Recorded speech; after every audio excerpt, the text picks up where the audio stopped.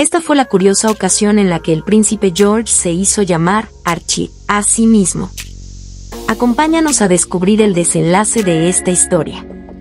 El príncipe George ha despertado también una gran curiosidad, dado que, que es el segundo en la línea de sucesión al trono británico, por lo cual la prensa ha tratado de conocer más de su vida al ser algún día el futuro monarca del Reino Unido y, es ahí, en donde algunos han descubierto que el pequeño usa un apodo para referirse a sí mismo.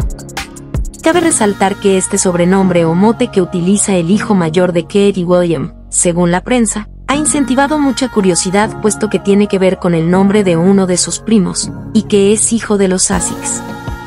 Sí, nos referimos a Archie, y a continuación te contamos esta curiosa anécdota.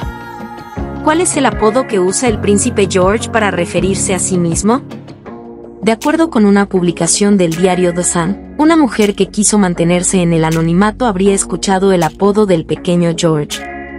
Según contó la mujer a este medio, se habría encontrado a los hijos del príncipe William.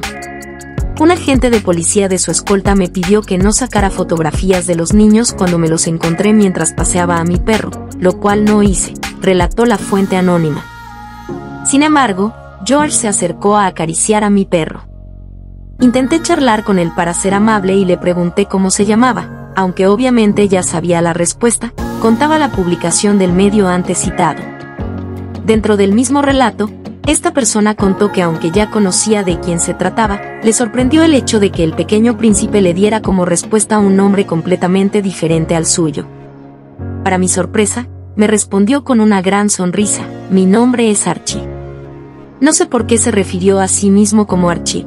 En ocasiones a los pequeños les gusta jugar con sus identidades y me pareció adorable, explicó la mujer anónima. Aunque se tratara de un juego de niños, Sigue quedando la duda del motivo por el que George prefirió llamarse Archie en lugar de mencionar su verdadero nombre.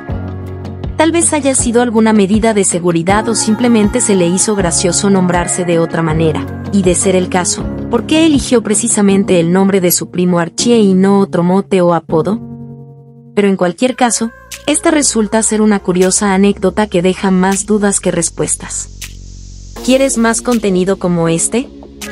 dale al like y suscríbete, activa la campanita para mantenerte al tanto con las últimas novedades del mundo de la farándula.